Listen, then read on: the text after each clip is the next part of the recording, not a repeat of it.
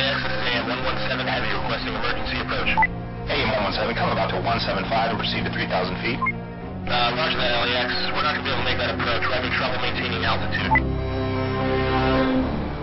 Shaping up to be a rough commute out there today. Watch for an accident on the 101 near Sherman Way. And we're just getting word that the 405 southbound has been shut down completely. It's like some sort of police activity's got it cleared for a two-mile stretch from the 118 all the way up to Victory. As soon as we get more information, we'll let you know. But in the meantime, we'll get you through with another 40 minutes of your favorite hits on KCTV.